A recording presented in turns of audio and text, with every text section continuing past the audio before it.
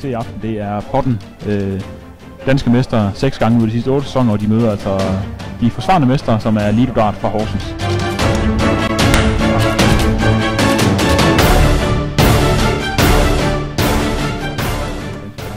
den kommer der i første pil.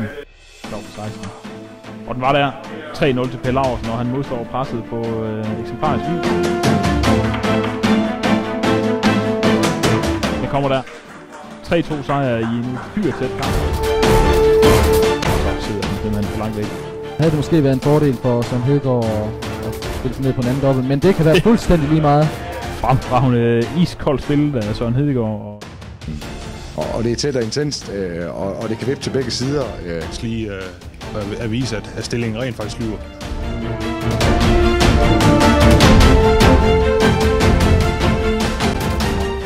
Ja, Søren Arnstrup, han står og måber. Den tror jeg ikke, han har set komme. Ja, der, det er stabilitet, stabilitet og stabilitet, og samtidig så er det træning, træning, træning.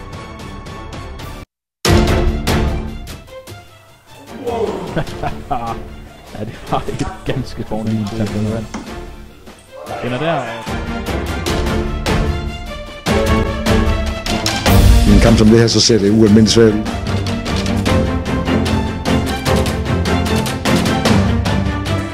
3-0 vinder han komfortabelt. Vandt i billedet her. Per Laursen.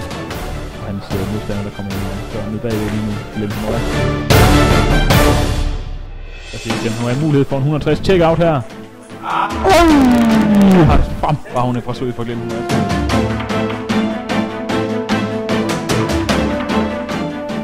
Mulighed for dobbelt 20 for ham og kampen, og det er verdensklasse af de to spillere her. Alle point de tæller, så utrolig vigtigt, at vi kommer på tavlen med tre i dag.